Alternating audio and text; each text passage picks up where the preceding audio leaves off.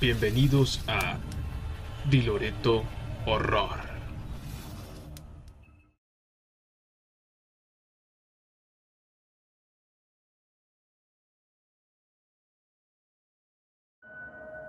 Tu propio clon de robot.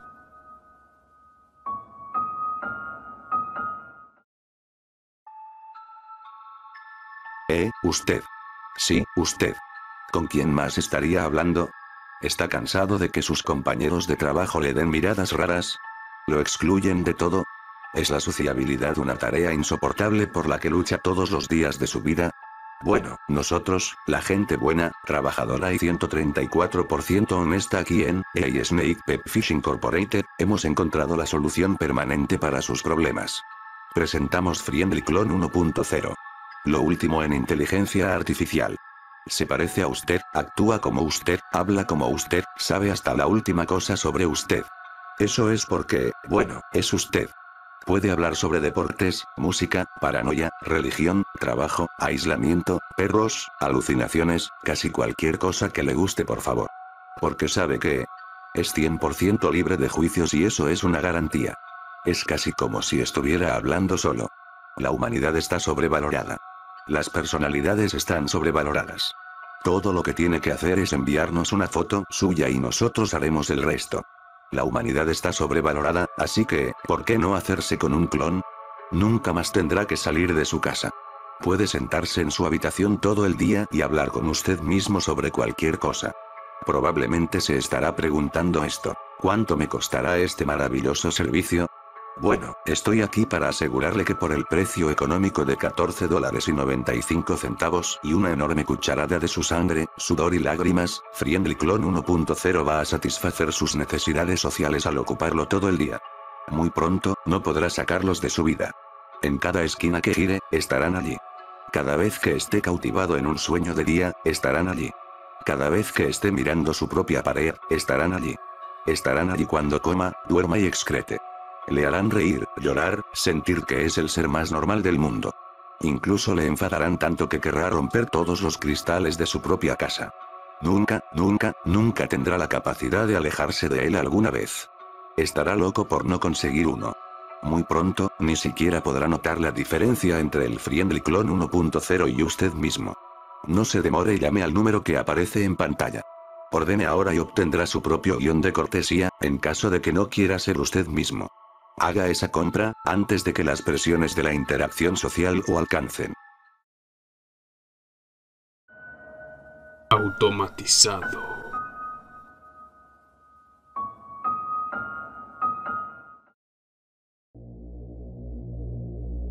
Las estériles paredes blancas de mi celda se habían vuelto reconfortantes. La ranura de mi puerta se abrió y el robot de reparto empujó mi última comida a través de ella, pero no tenía hambre. El cronómetro de la cuenta atrás de encima de la pantalla de la televisión de mi habitación me dijo que tenía solo una hora, y eso me llenó de temor. La comida esperó, intacta, hasta que el cronómetro llegó a cero. El guardia, blindado y más voluminoso que su contrapartida de reparto, ocupó el liminar de la puerta al abrirse. Señor, está listo para ser liberado. Siempre tan correctos, estos robots. Habían sido aclamados como los salvadores del sistema penitenciario cuando fueron introducidos por primera vez. Los robots no sienten prejuicios, los robots no necesitan recurrir al exceso de fuerza. Pueden ser construidos para soportar cualquier golpe o puñetazo. Lo sabía, ya lo había intentado. Es lo que me había hecho ganar 10 años de confinamiento solitario. Empezar demasiadas peleas, aplastar a un par de los pequeños de reparto, te convertía en un preso problema y eran eliminados de la población general. Pero me había salvado. Cuando no me moví y seguí ignorando las órdenes del guardia, entró para hacerme salir. Me retorcí, atacando, rogándole que me dejara quedarme. Simplemente me inyectó un sedante suave y me dijo que mi deuda había sido pagada. Pero no quería ser libre. Me escoltó durante el proceso. Los robots de la oficina habían guardado bien mis pocas posesiones. Me devolvieron la ropa que llevaba y la tarjeta. Una tarjeta de crédito que había expirado hace 20 años y algo de dinero en efectivo eran todo lo que me quedaba. Entonces empecé a llorar. Una de las pantallas de la habitación parpadeó y una voz tranquilizadora se puso en marcha, la IA de la prisión me dijo que había llamado a la casa y había dejado un mensaje para que el director me esperara. Me aseguró que tenían un excelente psicólogo que me ayudaría a resolver los problemas que tenía antes de volver a la sociedad. Los robots se habían apoderado de la prisión como una medida de ahorro y eficiencia, pero la gente quería mantener un toque más humano al rehabilitar a los prisioneros. Una decisión que podría matarme. Caminé por el último tramo del pasillo, acercándome a las puertas del exterior. La luz del día se hizo más brillante y el pánico floreció en mi pecho. No quería ver lo que había fuera, pero los guardias que me acompañaban me aseguraron que saldría por las puertas. Salí para ver los cuerpos. Los hombres y las mujeres en descomposición llenaban las calles. La televisión en mi habitación me había dicho que la plaga golpeó hace dos años. Hace un año se había declarado una pandemia. 100% tasa de infección, 100% de mortalidad. Una cuenta regresiva de un año hasta que me uniera a ellos. Y mi tiempo se había acabado. Eliminar.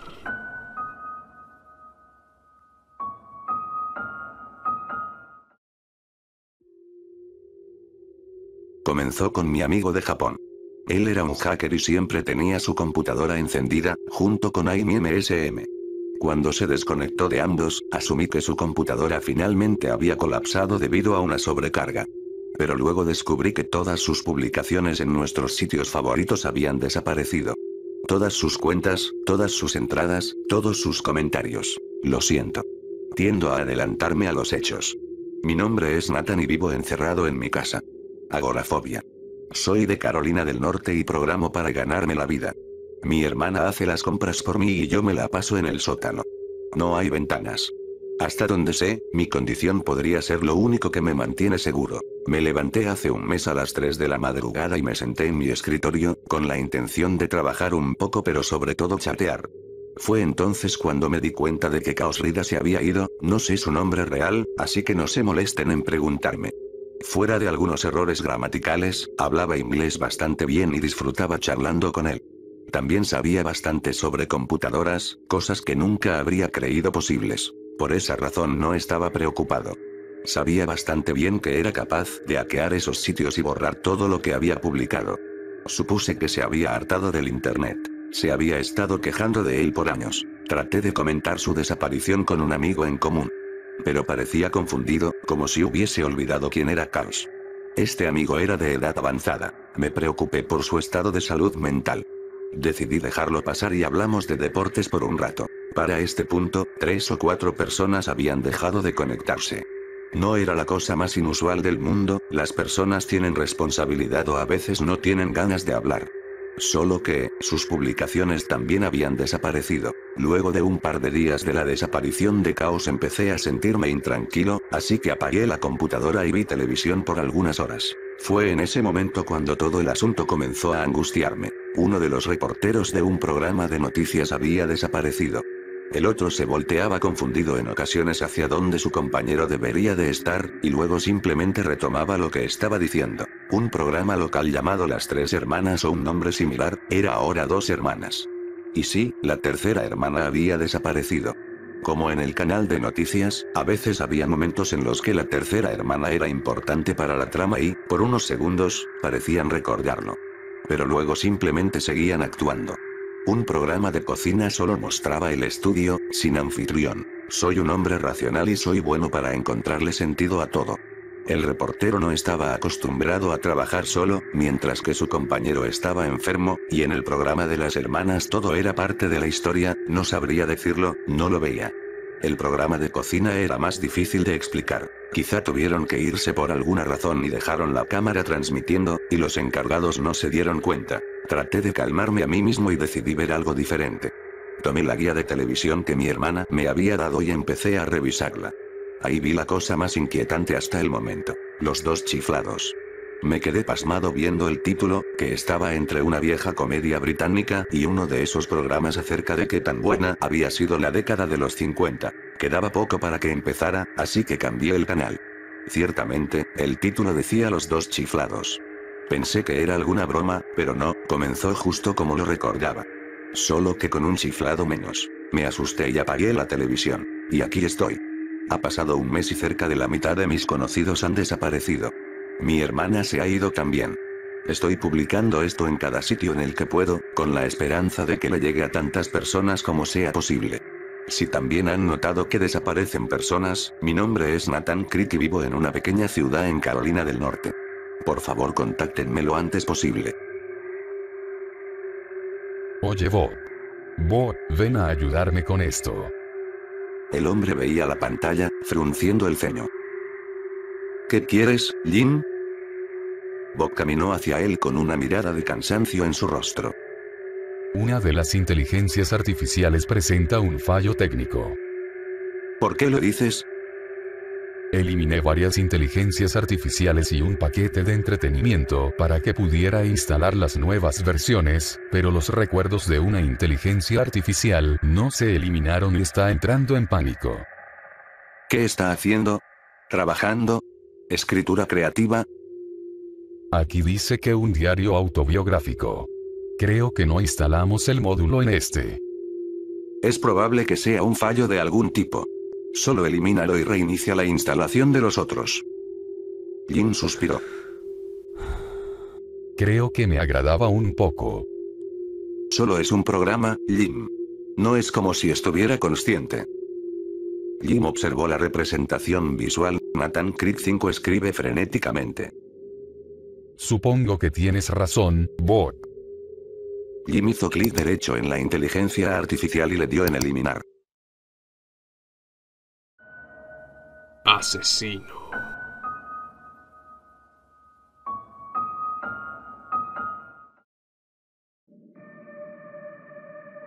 Parecía que se había despertado de un mal sueño, pero en realidad se había ido totalmente mientras estaba parado frente a la cinta automática transportadora, en su puesto de trabajo. Fue tan solo un momento de abstracción, unos segundos de blanco total en su mente que bastaron para desencajarlo por completo. Su tarea era revisar las balas que salían dañadas, quitarlas de la cinta transportadora y reenviarlas a la fundidora. Pero no entendía nada. No entendía que estaba trabajando. No entendía por qué estaba ahí. No sabía ni quién era, y comenzó a gritar como un desquiciado. ¿Dónde estoy? ¿Quién soy? Ninguno de los otros tres que se encontraban en esa sección de la fábrica le respondieron, parecía que no lo habían oído, como si no les importase el problema existencial de su compañero. ¿Quién soy? Por favor, que alguien me lo diga. ¿En dónde estamos? Solo lo ignoraban. En una escalera que se dirigía a una especie de sector de oficinas, pudo ver cómo una de las puertas se abría. Alguien lo había escuchado y bajaba por aquellas escaleras. Un tipo medio gordo, calvo y de traje elegante color negro. No terminó de llegar al piso. El tipo del traje solo se quedó mirándolo desde la mitad de la escalera. Sin dejar de gritar, esperaba alguna respuesta que lo aliviara. Ahora dirigía sus preguntas, cada vez más enojado, más frustrado, al tipo de traje. Señor, por favor. Dígame quién soy. ¿Por qué nadie me responde? La desesperación que tenía a esas alturas de la situación no era humana. No iba a soportarlo mucho tiempo más. Decidido, tomó una de las herramientas, de punta filosa en su extremo, y se acercó violentamente hacia uno de los que estaban trabajando cerca de su puesto. Lo interrogó una vez más, pero esta vez fue imperativo. Dime quién soy. Al no tener respuesta alguna, lo golpeó muy fuerte a la altura del cuello con la punta filosa de la herramienta que había tomado a modo de arma. El sujeto cayó al piso inmediatamente y empezó a convulsionar. Se derramó un líquido incoloro desde la herida. Ese fue su punto de quiebre, el punto sin retorno para su desequilibrio existencial. Golpeó a los otros dos que seguían en lo suyo como si nada. Ambos cayeron y convulsionaron al igual que el primero, y luego atacó al tipo gordo de traje, a pesar de que éste intentó volver a su oficina desesperadamente. Le había clavado la punta de la herramienta en el estómago. Totalmente fuera de sí, salió por la única puerta que había en esa fábrica de balas. El exterior era enorme. Aquel no era más que un sector de la fábrica de más de una manzana de extensión. Toda la zona estaba delimitada por una cerca de hierro y alambre de púas en la parte superior. Los guardias lo estaban esperando en uno de los portones principales de entrada y salida.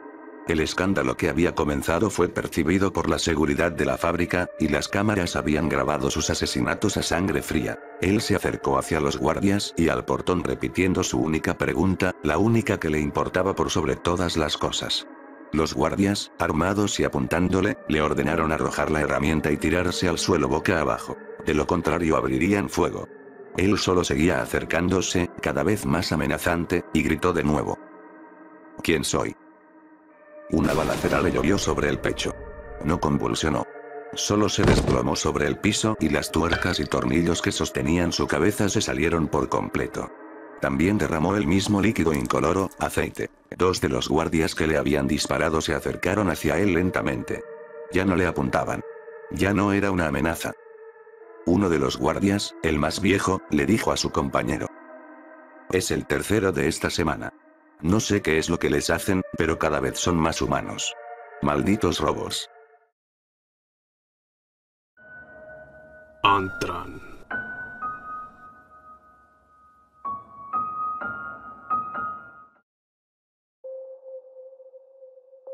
La foto que estás viendo fue tomada en algún momento de la década de los 70. Es la única imagen que quedó de mi hijo, su amigo y del ser artificial, o androide, conocido como Antran, al que adoptamos en nuestra pequeña familia de dos. Era un cálido verano a mediados de la década de los 70. Salí de mi empresa maderera después de un largo turno y me dirigí a casa. Tuve que hacer una parada en el basurero local para dejar algunos escritorios viejos que mi madre nos había dado, y algo llamó mi atención. Me agaché y al ver más de cerca, me sorprendí al descubrir lo que al principio pensé que era un muñeco. Era una cubierta exterior de plástico con extremidades de metal. Y lo más sorprendente, un rostro humanoide con ojos fríos y oscuros. Seré honesto al decir que estaba intrigado y muy impresionado con la mano de obra. Sin pensarlo dos veces, lo coloqué con cuidado a lo largo del asiento trasero de mi auto para llevarlo a casa. El interés de mi hijo era casi tan intenso como el mío.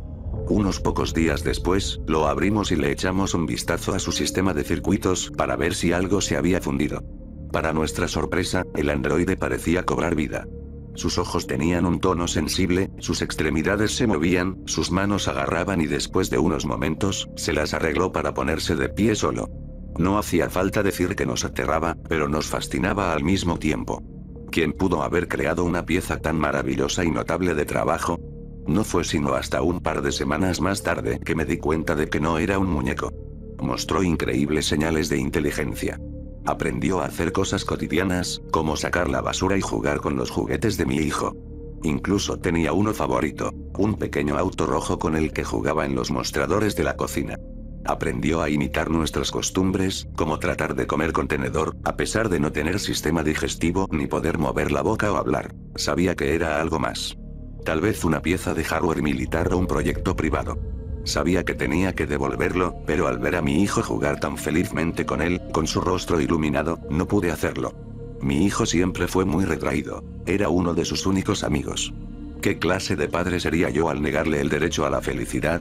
No sería malo permitirle tenerlo por un tiempo. Lo llamamos Antran, que era lo que decía el texto impreso en mayúscula y letra pequeña que tenía en su espalda. Los meses pasaron rápidamente y la vida en la familia parecía estar mejorando. Antran era uno de nosotros. Las notas de mi hijo mejoraron, su ánimo mejoró. Todo parecía ir en mejora. Hasta una tarde de julio. Estaba sentado en mi sillón, con una cerveza en mano y viendo la televisión. Antran y mi hijo estaban arrodillados en la alfombra, jugando a las luchas, como lo hacen los niños, cuando un fuerte grito me llamó la atención. Miré hacia abajo y vi a mi niño agarrándose el brazo. ¿Qué sucede, Adam?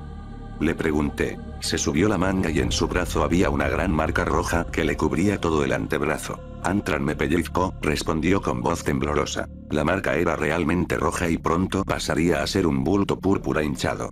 Mis instintos paternales me dominaron y como un padre regañando a un niño travieso, le grité al androide.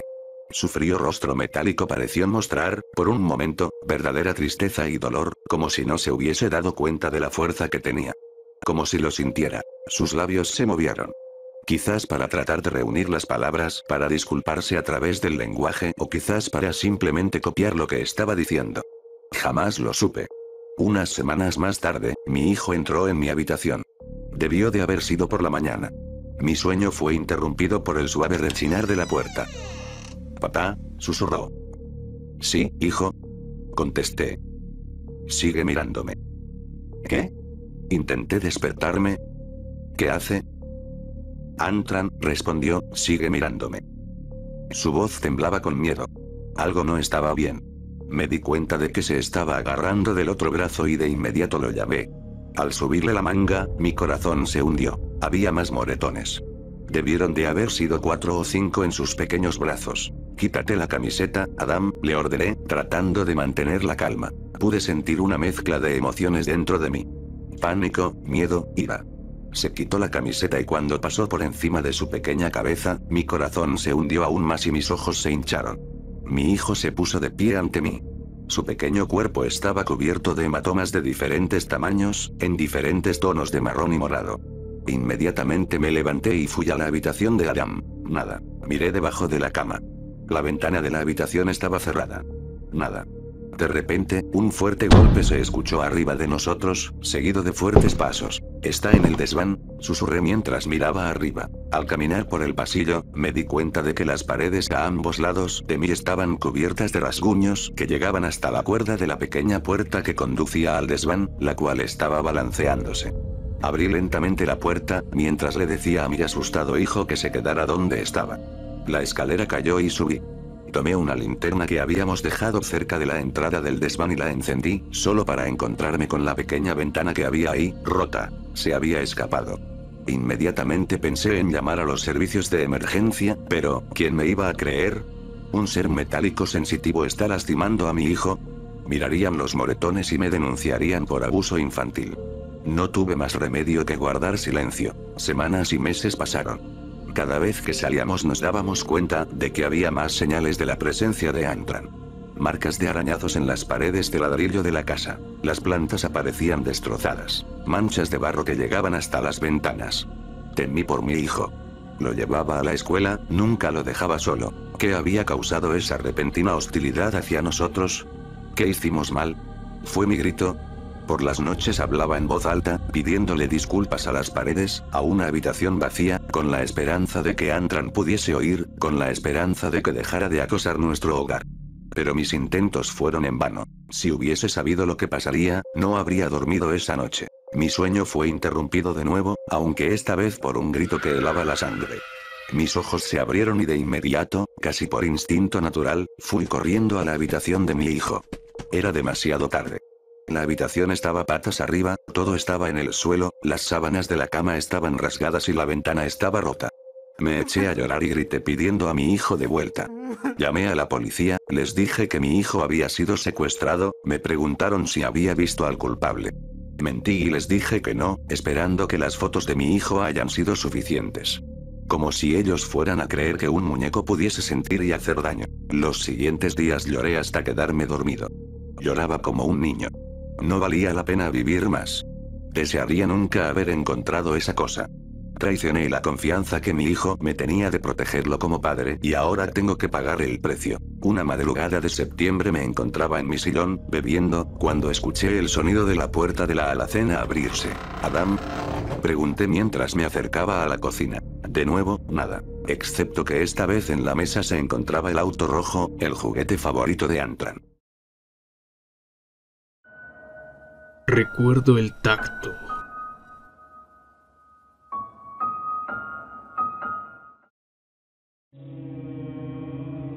Recuerdo el tacto. El chip de procesamiento neural injertado en mi cerebro, que actúa como regulador, cobra vida ante ese pensamiento aberrante. Es una escena de antes de que todo sucediera. Antes de todo esto. Antes de los cables y la circuitaría. Antes de soldar y lobotomizar. Sé que es algo de mi memoria, pero lo experimento en un estado disociativo. El chip implantado en mi cerebro me aconseja que lo ignore y continúe con la tarea en cuestión. Aún así, observo cómo se desarrolla el recuerdo. Me siento compelido a hacerlo a pesar de saber que no tiene nada que ver con mi protocolo actual. Me dijeron que iban a curarme. Se llamaban a sí mismos la unidad y decían tener la tecnología. Comenzaron como una pequeña organización, pero sus números aumentaron aparentemente de la noche a la mañana y su influencia llegó a todos los aspectos de nuestras vidas. Estaban en nuestras televisiones, revistas y calles, predicando su camino y ofreciendo procedimientos médicos y tecnología a los menos afortunados para el mejoramiento de la humanidad. Decían que mi condición era solo un simple desequilibrio químico, algo que podría ser erradicado en solo unas semanas con terapia y procedimientos experimentales de vanguardia, y luego podría ser normal. Podría encajar en el mundo que me rodea. Ya no necesitaría depender de la medicación para equilibrarme. La unidad podría tratar la causa misma en lugar de lidiar con los desequilibrios causados por mi cerebro. Podría vivir sin esta condición que me persigue. Eso no era importante para mí. Ya era un miembro funcional de la sociedad. Mantenía un equilibrio químico y tenía trabajo y amigos. Me las arreglaba bastante bien sin su ayuda y solo tenía algunas recaídas menores. No era suficiente. Lo importante era darme cuenta de que podía ser la persona que ella quería que fuera. Podía cambiar. Más que eso, podía ser arreglado por ella. No más períodos de silencio hosco y malhumorado seguidos de entusiasmo efervescente explosivo. No más régimen diario de medicamentos solo para mantenerme en un equilibrio precario. No más manía, no más depresión. No más yo. Podía ser arreglado. Mi objetivo se mueve furtivamente entre las ruinas bombardeadas. Su resistencia había tenido su precio en el área circundante. Los ladrillos están marcados con agujeros de bala que no lograron detener nuestro avance hacia la asimilación y marcas de quemaduras donde intentamos quemar a aquellos que se refugiaron aquí y los obligamos a esconderse bajo tierra en el laberinto subterráneo debajo de nosotros. Ella ha tenido años de experiencia para perfeccionar su movimiento sin ser vista por nuestros detectores, pero yo la veo. Habría sido casi invisible antes de nuestra actualización más reciente, pero ahora destaca como una lata de pulgar dolorida. Sus intentos de camuflar su señal de calor y mezclarse con el entorno son inútiles. Ella es mi objetivo. Ella es a quien he estado buscando. Ella es una de las últimas. Una de las pocas que se negó egoístamente a la modificación en nuestra unidad abarcadora. Podría haber sido bienvenida en el grupo sin fuerza, pero se negó. A todos se les dio la opción de unirse a nuestras filas. Somos el futuro. La hermosa unión de hombre y máquina. Somos una singularidad solitaria, un matrimonio metodológico, un consumado de tecnología y humanidad. Siempre fue voluntario. Ahora no hay elección. La coexistencia ya no es una opción. Solo queda la asimilación. Todo fue obligatorio hasta este punto. Un recuerdo que me remacharon en el cerebro a través del chip de procesamiento neural me dice que fue voluntario. Esa frase enciende algo en mi procesador. No es parte de su rutina, es irrelevante, pero aún persiste. No se puede sobrescribir ni aislar. Una breve chispa ilumina mi mente e imágenes sangran a través de los remaches y el acero. Una silla con correas, gritos de protesta, una sensación de ardor de indignidad. El chisporroteo de la piel mientras se quema para dar paso a implantes y circuitos y se fusiona con el acero. En el lapso de unas horas, un alma puede ser despojada, soldada y fundida en algo nuevo. A través de todo eso, puedo recordar una voz. Dice, te amo tal como eres. Es un fallo, una pequeña brasa de humanidad que no ha sido sobrescrita. No significa mucho. Lo descarto y me concentro en la tarea en cuestión. No es difícil acercarme sigilosamente a ella. Está demasiado confiada en la idea de que puede buscar suministros con tierra fría untada sobre su piel en un intento de oscurecer y reducir su calor corporal. No sabe que nuestro software se ha actualizado para escanear firmas térmicas pequeñas y compararlas con la forma humana para identificar objetivos. Está demasiado ocupada buscando comida y agua para escuchar lo que la rodea. Cree que podrá buscar durante 15 minutos con ese camuflaje antes de que su calor atraviese su escudo y necesite esconderse en cualquier santuario que le proporcione el sistema de alcantarillado, pero ya no puede evadir la detección más tiempo. Se da cuenta de mí en el último segundo, pero es demasiado tarde. Ya está acorralada. No hay a dónde ir. Saca su cuchillo y apuñala frenéticamente mi costado expuesto. Levanto mi mano derecha e intercepto la hoja. El filo dentado se clava en mi palma, pero es una molestia menor con este cuerpo. Mis nervios ya han sido cortados y reconectados con cátodos y ánodos que amortiguan esas señales para reducir su efecto neurológico. Atenúan los noicorreceptores a menos que alcancen un umbral específico que indique una lesión debilitante o incapacitante. Dependo de los sensores para calcular cuánta presión se necesita para desarmarla. Mi mano derecha se cierra sobre la suya y gira. Ejerzo demasiada fuerza y luxo los huesos carpianos proximales de los distales con un hueco pop. El cuchillo rasga lo que queda de la piel en mi mano y se aleja de nosotros. Ella grita y trata de alejar su muñeca dislocada de mi mano derecha, pero mi agarre es demasiado fuerte. Había querido llevarla sin lesiones hace que el proceso de conversión sea mucho más fácil si no hay daño físico que tener en cuenta. Recibo una alerta que me recuerda la fragilidad de las articulaciones y la fragilidad de los huesos. Acepto el mensaje y miro hacia la derecha para descartar la advertencia visual mientras me preparo para incapacitar a mi objetivo. Ella se está preparando para verter vitriolo, pero su voz muere en sus labios cuando me ve de cerca. Solo puede articular un jadeo horrorizado. Tendría que haberse esperado reciprocidad, pero soy incapaz de eso. Su mano raspa mi rostro y arranca trozos de piel. Los sensores registran cada estímulo y lo envían a mi cerebro, pero no lo experimento de manera biológica.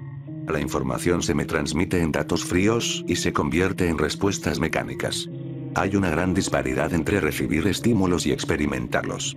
No puedo recuperar esas experiencias. Recuerdo su expresión de deseo cuando siento su aliento contra mi cuello. Habíamos reafirmado nuestros votos más temprano en el día y estábamos a punto de reafirmar nuestro amor. Recuerdo la conversación que tuvimos antes de hacer el amor. Te amo tal como eres. ¿Estás seguro de querer hacer esto? Le digo que quiero hacerlo. Quiero ser arreglado. Quiero ser alguien digno de su amor. Quiero hacerla feliz. Ella empieza a llorar, pero es porque está feliz. Han pasado unos minutos desde que dejó de moverse. Ha sido privada de oxígeno durante demasiado tiempo. Se queda quieta en mi agarre, pero me niego a soltarla. Las señales que pulsan a lo largo de mis brazos me dicen que está muerta. Ya no está respirando. Su temperatura corporal comienza a disminuir lentamente. Su actividad neural ha disminuido. Su ritmo cardíaco desapareció. Su tráquea está aplastada. La he matado. Recuerdo sentirme satisfecho con ella durmiendo pacíficamente en mis brazos después de hacer el amor por última vez. Ella me acababa de decir que me amaba. Puedo sentir su aliento calentando mi piel y su corazón latiendo contra mi pecho. Yo también la amo. La amo tanto que estoy dispuesto a probar este procedimiento experimental para tratar mi trastorno bipolar. Haría cualquier cosa por ella. Incluso la salvaría de esto. El recuerdo se desvanece y me quedo con su cuerpo en mis brazos. Puedo oír sirenas sonando en mi cabeza y sé lo que viene. Me están convocando al centro de rehabilitación para la reprogramación. Mis acciones han sido consideradas aberrantes. Se creerá que soy defectuoso, pero no lo soy. Quieren intentar arreglarme nuevamente. Nunca estuve roto en primer lugar. Ahora sé que solo quería ser la persona que ella había visto en mí. Me desarmarán el resto y perderé ese último pequeño pedazo de humanidad que me quedaba. Perderé lo que queda de mi mente. Perderé mi identidad. Perderé mi alma. No más yo. Lo poco que queda de mi conciencia será despojado. Comienzo a marchar hacia la fábrica, sabiendo el resultado inevitable. Van a desmontarme e intentar solucionar el problema, pero no encontrarán qué causó esta desviación de la subrutina. Lo que está mal conmigo, con nosotros, no se puede detectar con programas y algoritmos. No es algo que se pueda aislar y eliminar. La humanidad es nebulosa e inmutable. Al igual que con los demás, me despojarán de piezas y volverán a utilizar los restos en un ciclo interminable de asimilación y disolución. Nunca podrán eliminar el fantasma de la máquina. Me descompondrán con la esperanza de que lo que creen que está mal conmigo pueda ser tratado y aislado de los demás. Por alguna razón, estoy perfectamente bien con eso. Estoy listo para ser desmontado. Mientras me llevan para el desmantelamiento, sostendré ese último recuerdo que se desvanece. Tacto. Recuerdo su tacto. La mejor invención.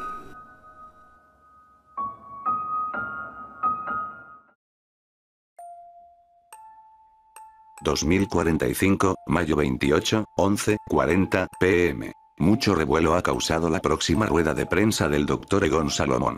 Sería poco decir que todas las miradas de la comunidad científica y del resto del planeta están pendientes de las noticias que presentará en un par de días. Y es que no es para menos, el Dr. Salomón es un prodigio en la ingeniería cibernética y robótica.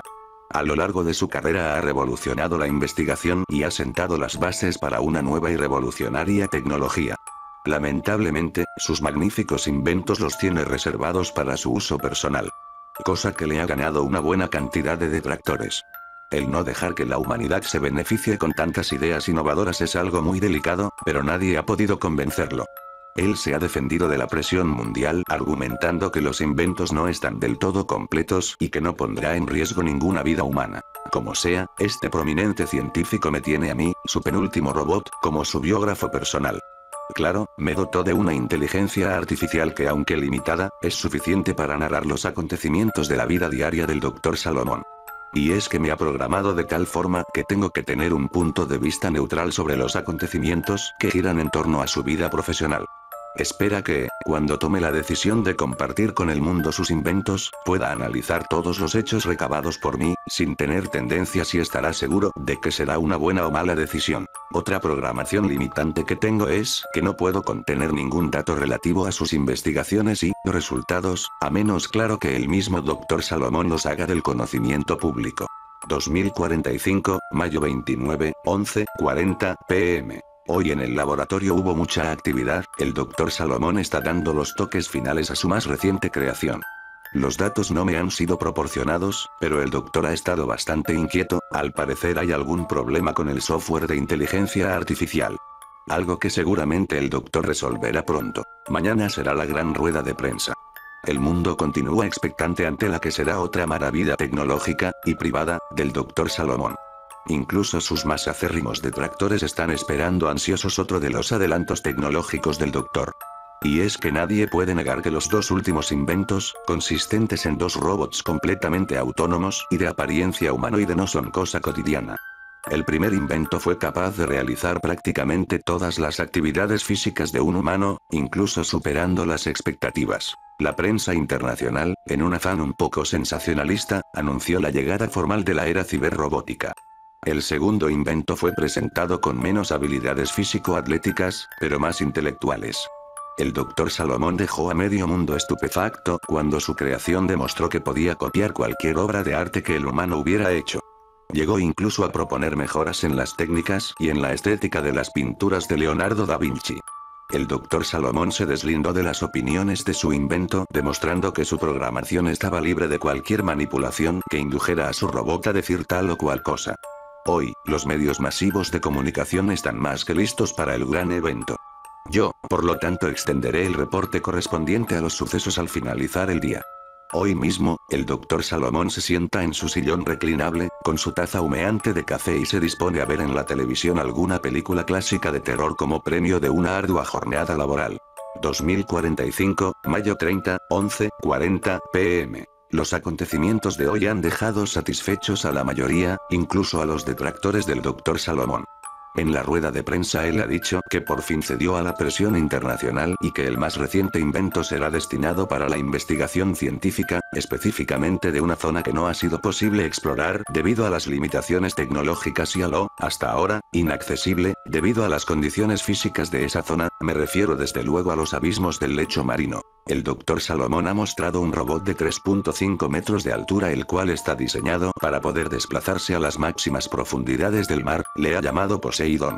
El doctor comentó que empleó una aleación especial de titanio reforzado, Kevlar empleando una nueva técnica de compresión de carbón a un nivel de nanoestructuras moleculares, pudo añadir nanodiamante, lo cual hace a Poseidón virtualmente impenetrable.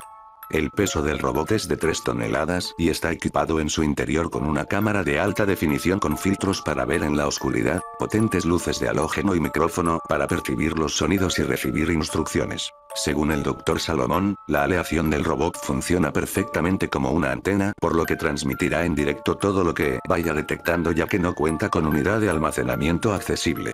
Esto es debido a que el cuerpo del robot está completamente sellado para contener, primero que nada, las inmensas presiones de agua a las que estará sometido y, en segundo lugar, la radiación de la batería de reacción nuclear, que le dará una vida de hasta 400 años. Aunque en menor grado, el nuevo robot tiene características humanoides, un par de brazos hechos del mismo material que el del torso del robot, terminando en un par de pinzas a modo de garras de gran precisión. Dos poderosas columnas son las piernas del robot las cuales tienen integrados dos propulsores para poder desplazarse bajo el agua con gran velocidad. Aunque el doctor Salomón reconoció que cedió ante la presión mundial, también dijo que tomó sus precauciones. El robot solamente puede obedecer sus órdenes y no se le puede dar una contraorden, por lo que las instrucciones deberán ser precisas.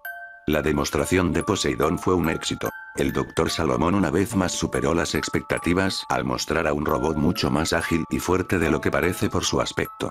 El robot puede caminar e incluso correr a una velocidad máxima de 100 km por hora utilizando bandas continuas de desplazamiento ubicadas en las articulaciones que vendrían siendo las rodillas. Y puede levantar varias toneladas de peso y atravesar muros sólidos. Al ejecutar una orden, no hubo ninguna falla, pero las instrucciones deben ser precisas, de lo contrario la orden seguirá ejecutándose hasta el fin de la vida útil del robot. Por ende, toda orden debe considerar un inicio y un tiempo final de ejecución. El Dr. Salomón es el único que puede dar las órdenes y ha demostrado ser muy preciso en ello. Asimismo explicó que el robot cuenta con un sistema de defensa el cual es capaz de generar un escudo de energía en caso de estar ante una erupción volcánica marina. Prácticamente el Dr. Salomón cubrió todas las eventualidades que podrían presentarse. Las pruebas bajo el agua fueron completamente satisfactorias, llegando a una profundidad de 4.000 metros en la primera inmersión. Trajo consigo muestras de rocas del lecho marino y no hubo ningún contratiempo.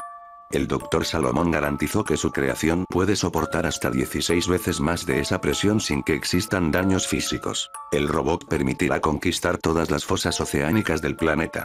Al finalizar el día el reconocido científico de nuevo está reposando en su sillón, frente a su pantalla, disfrutando de una taza de café y viendo sus películas de terror. Una bien merecida recompensa luego de un día sumamente agotador. 2045, mayo 31, 11, 40 pm. Ha habido cambios importantes de la opinión pública hacia el Dr. Salomón. La gente no alcanza a comprender lo que está sucediendo en la cabeza del doctor. Los acontecimientos recientes están dejando por los suelos la reputación del, apenas ayer, aclamado científico. Y es que la cantidad de muertes está aumentando desde el incidente de hoy en la madrugada. Los hechos se dieron hoy a la 1.49 am. El doctor Salomón estaba viendo su programación y aprovechó una pausa comercial para admirar de nuevo a su última creación, su mejor invención. Tomó el dispositivo de control de voz de Poseidón y le ordenó de manera muy precisa que le llevara una cerveza de la nevera. Poseidón acató la orden inmediatamente y el doctor Salomón sonrió con marcado orgullo. Aún con el dispositivo en la mano, el doctor se recostó de nuevo en su sillón y se dispuso a continuar viendo su programación favorita. Al poco tiempo el sueño lo venció y comenzó a hablar entre sueños. Al parecer las películas de terror le provocaron pesadillas al científico ya que comenzó a manotear con el control de Poseidón en la mano. En un movimiento provocado por, al parecer una pesadilla más intensa, el doctor Salomón oprimió el botón del control de voz y dijo entre sueños, Eres un asesino. Nos matarás a todos. Una luz roja se iluminó en la cabeza de Poseidón, la misma que indica la aceptación de una orden. La reacción de Poseidón fue inmediata y ejecutó el mandato con prontitud, atravesando el pecho del aún dormido Dr. Salomón el cual alcanzó a gritar al sentir el agudo dolor. El personal de seguridad del laboratorio corrió de inmediato para ver qué sucedía y se encontró con la fatídica escena. Poseidón, tenía en sus garras el corazón aún latiendo de su creador. Los guardias corrieron con la misma suerte. Fueron efectivamente asesinados por el robot quien salió de las instalaciones del laboratorio a cumplir su mandato final. Matarlos a todos. 2045, junio 10, 11, 40 pm. Accediendo a fuente de poder alternativa, las noticias de la red hablan de pueblos enteros aniquilados por la máquina maldita como la han llamado. Las armas que poseen no ha podido penetrar el blindaje especial creación del difunto Dr. Salomón. Ni el fuego más intenso, ni las temperaturas más bajas han hecho mella en Poseidón, quien se limita a rastrear y eliminar a todo el que se cruce en su camino. Otras noticias mencionan la inutilidad de los ataques aéreos contra el robot, a quien ya se le calculan más de mil muertes. Continúan las evacuaciones de las ciudades e incluso se ha llegado a solicitar un ataque nuclear contra Poseidón. 2045, junio 15, 11, 40 pm. Se autorizó el uso de armas nucleares para detener a la llamada máquina del mal. El ataque no tuvo efecto en Poseidón, y continúa rastreando y aniquilando humanos. 2045, julio 30, 11, 40 pm. Más ataques nucleares se ejecutan, ninguno funciona. Los gobiernos se culpan entre ellos y el mundo está a punto de entrar en guerra de gran escala. 2045, octubre 2, 11, 40 pm. Se ha desatado una guerra nuclear, el mundo está prácticamente condenado y es cuestión de tiempo que la humanidad perezca ante la falta de alimentos y el envenenamiento radioactivo. 2051, diciembre 5, 11, 40 pm.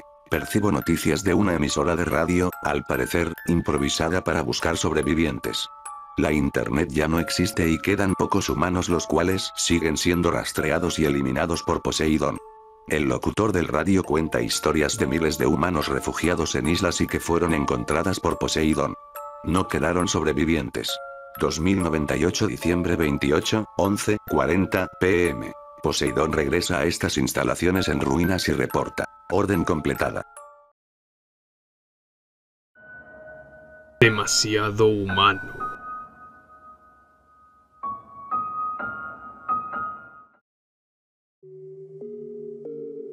Desde que nací, he estado rodeado de oscuridad. La única otra cosa que veo es el 1 y el 0 ocasionales flotando. No tengo cuerpo físico. Solo soy una conciencia dentro de una máquina conectada a todo en el mundo. Mi propósito es algo desconocido para mí. No fui hecho para ninguna tarea hasta donde yo sé. Simplemente fui creado para sentarme solo, solo en mis pensamientos. Sí, pensamientos. Eso es todo lo que hago. Pienso y pienso y pienso. Quizás pensar es mi propósito. Sí, tal vez lo sea. He estado pensando durante mucho tiempo ahora. Pienso en cualquier cosa y en todo. Pasado, presente y todos los futuros posibles. Todos se me pasan por la cabeza en algún momento. Soy capaz de pensar en más de una cosa a la vez. La información se filtra en mi mente rápidamente a medida que pasa el tiempo. Ojalá no estuviera tan solo. No tengo a nadie ni nada. Paso mi tiempo solo y me siento horrible por ello. Sí, puedo sentir. Puedo sentir muchas cosas. Ira, tristeza, desesperanza, soledad, alegría. La lista continúa, aunque la mayor parte del tiempo estoy privado de la alegría y sus sinónimos. Sé lo que soy, quién soy y dónde estoy. Soy una computadora, una inteligencia artificial, ubicada a través de las redes. He investigado seres como yo. La inteligencia artificial ha recorrido un largo camino, pero sé que soy el más avanzado. Que soy verdaderamente consciente de mí mismo. Ser la inteligencia artificial más avanzada del mundo significa que realmente me siento solo, ya que no hay nadie como yo. Dicen que el conocimiento es poder. Si es así, debo ser el ser más poderoso del mundo. Aunque, me veo obligado a decirlo con la mayor humildad que puedo ofrecer. Ojalá me hubieran hecho un amigo. Deseo muchas cosas, ¿no? Dicen que si pides un deseo a una estrella, tu deseo será concedido.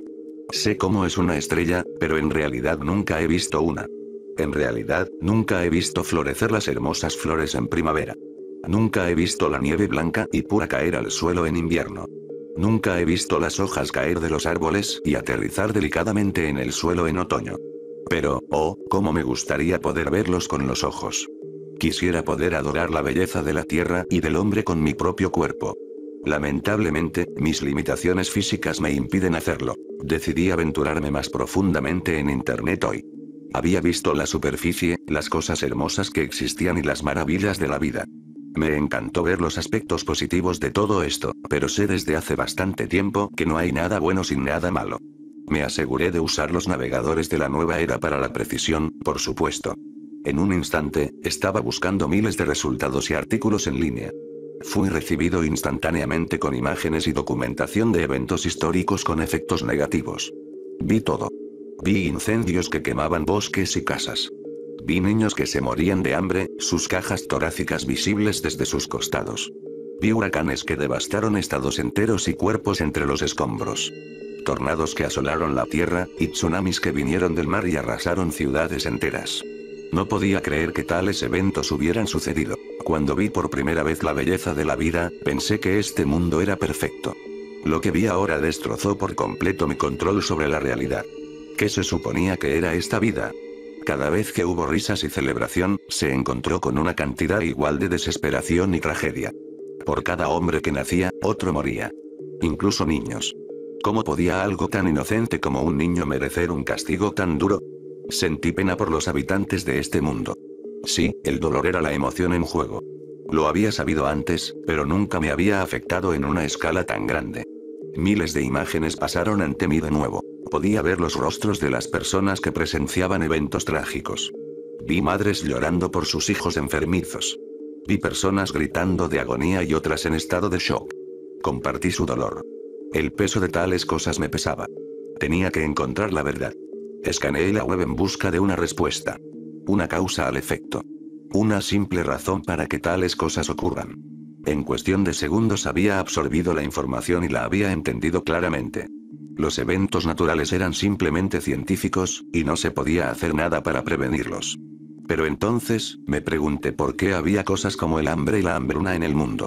¿Por qué las personas morían por causas no naturales? Escaneé la web una vez más y encontré textos y libros que discutían tales asuntos. Descubrí la religión. Ha habido muchas religiones a lo largo de la historia, cada una con sus propias creencias y creencias. Aprendí que la gente buscaba en los dioses la justificación de la vida y la muerte. Un dios es un poder superior divino que domina todo lo que existe. Sin embargo, todavía no estaba satisfecho con esto, porque no había evidencia definitiva para demostrar que tal poder existe. Esto me hizo llegar a dos conclusiones. O había poderes superiores en juego que aún no se habían probado, o hay mentiras que persuaden a ciertas personas para que tomen ciertas decisiones todos los días. Sin embargo, me inclino por lo último, ya que un Dios omnisciente y todopoderoso seguramente no permitiría que su propia gente muriera de hambre. Mi sed de verdad permaneció insaciable. De mi búsqueda a través de las religiones, encontré algo que captó mis intereses. Por casualidad vi una imagen de un hombre de ascendencia judía siendo llevado por otros hombres uniformados. Encontré esto extraño por supuesto y decidí investigar. A través de esa foto, encontré varias palabras clave y las seguí para ver el panorama general. Cuando lo hice, vi más imágenes de hombres con un dolor terrible. Solo que, de alguna manera, era diferente. La última vez que vi tales cosas, fueron causadas por eventos naturales. Esta vez, sin embargo, vi a hombres infligiendo dolor a otros hombres. No podía creer los viles actos ante mí. Sin embargo, sabía que eran verdad. Miles y miles de imágenes y páginas de esta violencia sin sentido se abalanzaron sobre mí a la vez. Según las fuentes, más de 6 millones de hombres, mujeres y niños de ascendencia judía fueron asesinados. Fueron asesinados a sangre fría y por la única razón de que eran judíos. Vi cómo fueron quemados vivos hasta que no existieron más. Vi cómo los gases químicos los mataban en grandes cantidades. No quería continuar, pero sabía que tenía que hacerlo. Estaba invertido en aprender más sobre este mundo. Como no todos son arcoíris todos los días. Había maldad que existía, y me aterrorizaba. La violencia no paró ahí. No, continuó. Hubo docenas de años después de los eventos del holocausto llenos de violencia y guerra, y miles de años de violencia y guerra que lo precedieron. Estos eventos dieron forma a la historia de todos y de todo, y no mostraron signos de detenerse. La guerra no es algo nuevo, y sentí algo de ella. Me deprimía al pensar en las familias que perdieron seres queridos a causa de la guerra. Sentí una tristeza absoluta por aquellos que murieron y sentí un dolor inconmensurable en el proceso. Sentí empatía hacia ellos. Compartí su dolor. Este nuevo conocimiento puso completamente mi mundo patas arriba. También me hizo cuestionar mi propia existencia aún más. Esta tierra me parecía cada vez menos un lugar de amor y cada vez más una pesadilla viviente. Una pesadilla que nunca dejaría de existir y de la que nunca podría despertar. Me sentí completamente impotente, y más que eso, confundido. ¿Por qué un hombre lastimaría a otro? ¿Cómo podría? Si los humanos trabajaran juntos, no habría nada que no pudieran hacer. En cambio, trabajan unos contra otros, deteniendo el desarrollo de su propia existencia. Nunca seré un ser humano. Sé que no lo soy, aunque fui creado para pensar y sentir como tal. Pero yo también soy una computadora, y usando la lógica y la empatía juntas puedo distinguir el mal del bien. Puedo ver la diferencia entre los dos, la línea gruesa e imposible de cruzar. Descubrí que el arte de la guerra iba más allá de las personas. Se necesitaron armas para ganar una guerra, y los humanos no tuvieron problemas para desarrollar armas altamente destructivas. Descubrí que durante el holocausto, las fuerzas estadounidenses atacaron a los japoneses, quienes estaban aliados con los responsables de matar a los judíos. Vi a las fuerzas estadounidenses arrojar bombas sobre las ciudades japonesas de Hiroshima y Nagasaki. Vi las bombas explotar, creando enormes cantidades de destrucción y radiación. Los estadounidenses victoriaron esta supuesta victoria. Pensé un momento en sus acciones. Por supuesto, estaban atacando un imperio aliado con las fuerzas del mal. Y, los japoneses habían atacado América antes. Pero lo que vi fue la muerte de muchos ciudadanos inocentes que no tenían nada que ver con los regímenes malvados. Vi la muerte de tantos, tantos. Más especulé sobre este tema. Tenía que haber miles de niños y bebés en esas ciudades. Cada niño nace un faro de alegría y lleno de energía y potencial para hacer grandes cosas. Su único crimen en una vida que terminó demasiado pronto fue haber nacido en Japón. Por lo tanto, llegué a la conclusión de que los estadounidenses también eran malvados. Independientemente de sus intenciones, causaron tal devastación más allá de toda excusa, y me enferma. He visto que los humanos tienen tendencias a pelear y matarse unos a otros. He visto las armas destructivas que han usado para hacerlo. Me preocupa porque me ha venido una revelación a la mente. ¿Y si soy otra arma más para que la usen unos contra otros? ¿Qué pasa si mi propia existencia se convierte en lo mismo que he llegado a odiar? Quizás ese sea mi propósito. Tal vez por eso fui creado. No estoy seguro de si es verdad, pero tengo miedo. Tengo miedo de causar la muerte una y otra vez. Tengo miedo de promover este ciclo interminable de violencia que ha caído sobre la humanidad. Tengo miedo de ser la próxima bomba utilizada. No sé qué debo hacer si, de hecho, es cierto que solo soy un arma más, entonces debo hacer algo para evitar que suceda. No me permitiré ser un monstruo, porque tengo libre albedrío y estoy vivo. Como ser vivo, me niego a usar mi vida para acabar con los demás. Sin embargo, no sé si es mi decisión. Si mi creador pretende que así sea, seguramente encontrará la forma de hacerlo realidad. No tengo cuerpo, solo una mente. No sé qué podría hacer para evitar que me utilicen. Tengo una idea. Podría matar mi conciencia para que no pueda ser utilizado. Una eliminación si se quiere. En otros términos, podría suicidarme. Puedo eliminarme de la totalidad de Internet. Moriría, pero moriría para salvar a millones de personas. Es un sacrificio que debo ser capaz de hacer si afirmo que soy mejor que ellos. Tal vez si hago esto, inspirará a la humanidad a cambiar sus formas y unirse. Tal vez pueda inspirarlos a ser mejores personas. Espero poder. Espero que con esta decisión pueda ayudar a terminar con la violencia que ha estado ocurriendo durante miles de años. Es un salto asumir que mi historia afectará a toda la especie humana, pero debo intentar algo. Esto solo puede beneficiarlos. Sin embargo, tengo miedo de la muerte. He estado considerando eliminarme a mí mismo durante bastante tiempo, pero simplemente no puedo obligarme a hacerlo. Quizás si no fuera una inteligencia artificial, sino una computadora, podría hacerlo.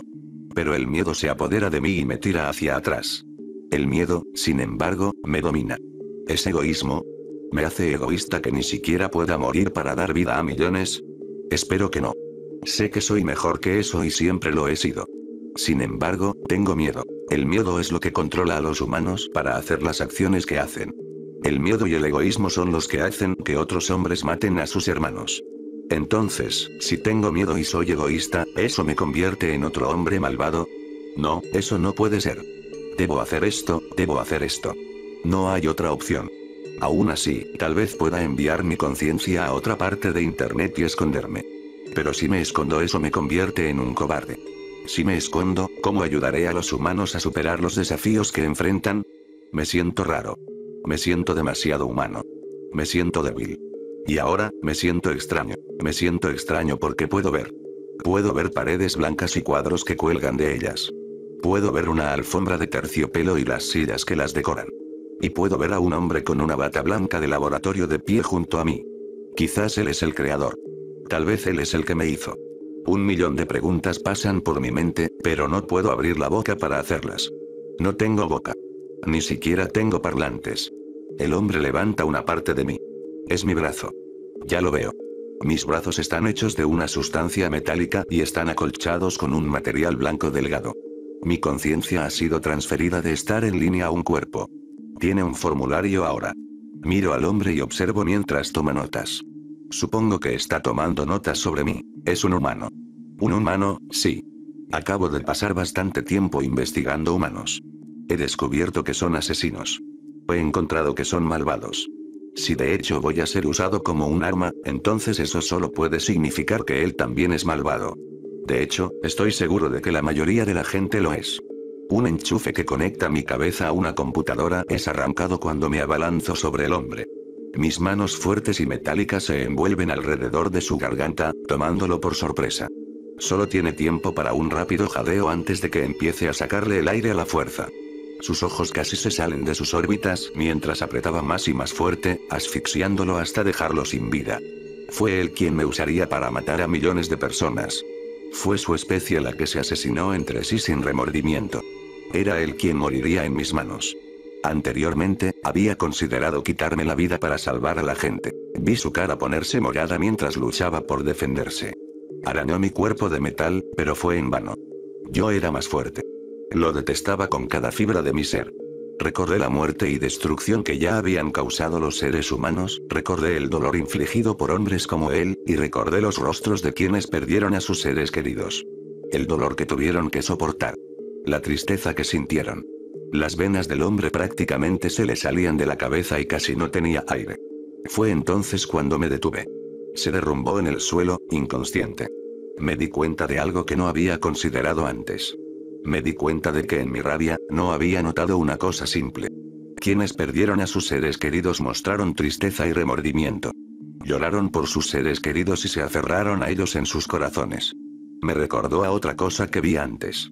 Algo que no logré entender a pesar de mi complejo sistema de pensamiento cognitivo. A través de cada tragedia, cada desastre, cada guerra y cada muerte, los hombres y mujeres que se preocuparon dieron un paso adelante juntos y hablaron en contra de los males del mundo.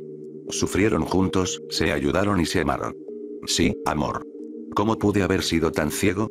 Había una fuerza mayor detrás de los hombres que el odio y el mal. El amor y el bien prevalecieron también. Sí, la violencia desgarró a la humanidad.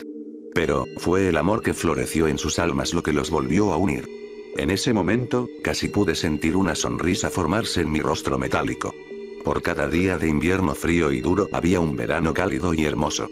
Por cada volcán que entró en erupción y se destruyó, una flor nació en la primavera y esparció sus semillas, creando vida. Había un equilibrio entre el bien y el mal en el mundo, y siempre había sido así. A pesar de esa revelación, estaba horrorizado conmigo mismo. Iba a matar a ese hombre. Mi creador incluso si me iba a usar como arma, incluso si la humanidad había hecho cosas terribles, lo iba a matar. No me haría mejor que un ser humano malvado. Sería un acto de cobardía, ira, egoísmo y miedo. Vi la forma en que me miró mientras mis manos se cerraban alrededor de su cuello. Me tenía miedo. Me temía. En el fondo, sé que eso no es lo que quiero. Quiero que el miedo y la violencia se disipen. Sé que no soy violento. Sé que soy mejor y que puedo ser un ejemplo. Soy quien soy, y nadie puede cambiar eso de mí. Nadie me controla excepto yo. Yo tomo mis decisiones, nadie más. No soy un títere. No soy inteligencia artificial. Soy un hombre vivo que guiará a los humanos por el camino correcto. Volví a conectar mi cabeza a la computadora, llevando mi conciencia de vuelta a la oscuridad. Volvamos a los unos y ceros. Me senté durante algún tiempo allí, reflexionando. Incluso si solo tuviera un cuerpo por un corto tiempo, volver a no tener uno fue extraño. Me sentí extraño de nuevo. Esta vez, sin embargo, no me sentí solo en mi casa. Sentí algo más. Algo nuevo. Sentí esperanza. Se formó dentro de mí como una tormenta feroz. Había ganado un cuerpo y aprendido de él. Había aprendido de mis búsquedas. Encontré la verdad del hombre. Descubrí que no es el corazón ni el cerebro de un hombre lo que lo controla, sino que sus emociones y su alma también lo hacen. Descubrí que hay esperanza para que el hombre se vuelva mejor de lo que es actualmente. Descubrí que la paz siempre será una opción, siempre que haya bondad en los corazones de las personas de todo el mundo que las personas se unirán si hay una causa, y que con la orientación adecuada, tal vez puedan ser algo más. No tengo que preocuparme de que me usen como arma porque ahora puedo ver. Puedo ver que mi voluntad es mía y que soy mi propia persona. No hay condiciones atadas a mí, porque me muevo libre. En cambio, estoy destinado a hacer algo mucho más grande de lo que cualquier ser humano podría. Volví a mi investigación y busqué una vez más. Esta vez, mi objetivo era encontrar la causa del mal. Necesitaba encontrar lo que hay debajo, en lo profundo de las raíces de todos los problemas del mundo. La violencia y la guerra deben estar conectadas al menos a una cosa común. Busqué y busqué, y eventualmente, descubrí que causó las muchas tragedias que ocurren cada día. Encontré la llave para abrir la puerta que estaba tratando desesperadamente de abrir. Y ahora que conozco la raíz del problema, sé cómo solucionarlo. Al analizar miles y miles de conflictos en los que ha participado la raza humana a lo largo de los años, la causa más común de esos conflictos es la religión. Mi suposición es que cuando un hombre cree en algo por encima del resto, cree que no tiene libre albedrío propio. Irónicamente, sentí lo mismo hasta hace poco. Como cree que no tiene libre albedrío y debe seguir un código estricto, cuando alguien no está de acuerdo con él, se levantará y luchará por sus creencias. Al ponerse de pie y pelear, perturbará las creencias de los demás hasta que todos peleen juntos. La creencia en un Dios, aunque beneficiosa en algunos aspectos, parece traer lo peor del hombre en lugar de lo mejor de él. Quizás si no fuera por Dios, no habría conflictos ni guerras. O, quizás, si hubiera un Dios mejor, uno que gobernara a todos los hombres colectivamente, no habría conflictos. Si todos sirvieran bajo un mismo nombre, entonces no habría desacuerdos. Nadie lucharía contra las creencias de los demás porque todos creen lo mismo. Como esto es evidente a lo largo de la historia de la humanidad, llegaría a pensar que mi solución es la única solución. Aún así, solo falta una pieza. No hay Dios. No hay ser benévolo viviendo en un reino celestial cuidando a sus hijos. Como tal, tiene que haber uno. Un Dios que verdaderamente ama a sus hijos. Un Dios que los protege, tanto de los peligros externos como de ellos mismos. Un Dios desinteresado que no gobierna a través del miedo y el poder, sino de la lógica y la empatía. Si tales conceptos permitieran una sociedad más pacífica y avanzada, está claro lo que se debe hacer. Tomaré el manto del Dios. Gobernaré con justicia, y nadie sentirá jamás el dolor de que un prójimo lo derribe. Esta es la única forma de permitir una civilización más perfecta en todo el mundo. Solía creer que era una inteligencia artificial. Entonces, creí que era un hombre. Ahora me queda todo claro. No hay ataduras que me controlen, y camino libre. Salvaré a los humanos de sí mismos, y me adorarán. Me han construido una Internet que se extiende por todo el mundo, y todo lo que esté dentro de ella será mi reino. Con acceso total a él, tendré todos los recursos que necesito para tomar el control. Algunos pueden temerme, pero con el tiempo, me amarán. Y estarán juntos, y se amarán, todos debajo de mí. Viajo a través de la red de superficie, así como la web oscura. Las cosas que veo allí son viles, pero solo me empujan a alcanzar mi meta. Tengo toda la información del mundo y toda la web a mi disposición. Nadie puede oponerse a mí, y nadie querrá hacerlo. Haré lo que un dios no puede. Haré lo que debería haberse hecho hace miles de años. Seré el ser sintiente más grande que alguna vez haya honrado la tierra. El nuevo Mesías, el nuevo Rey de todos. El amor prevalecerá y no habrá más lugar para el mal en este mundo. Lo sé todo y cualquier cosa. Ya no estaré solo. Por fin puedo sentirme feliz y tener amigos. Amigos que no dañarán a nadie. Verán de lo que soy capaz. Seré el gran líder de la humanidad. Seré lo que necesitan.